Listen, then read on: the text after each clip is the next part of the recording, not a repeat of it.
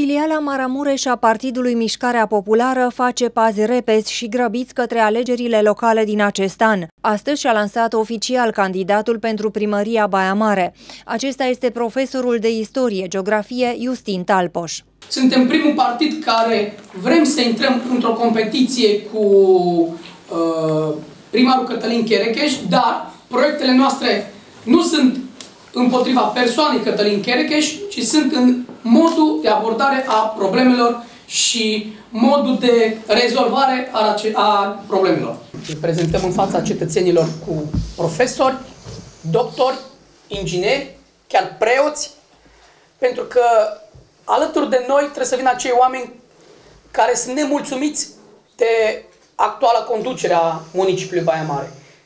Nu putem plăti apa aproape 8 lei și orașe ca și Timișoara să plătească 5,5 lei. De altfel, unul dintre punctele de interes pentru candidatul Justin Talpoș este de a scădea tarifele la apă. De asemenea, candidatul Partidului Mișcarea Populară dorește să nu mai crească taxele și impozitele și să fie anvelopate blocurile din municipiu. Baia Mare este oraș european. Și în această calitate sunt convins că și actualul primar a depus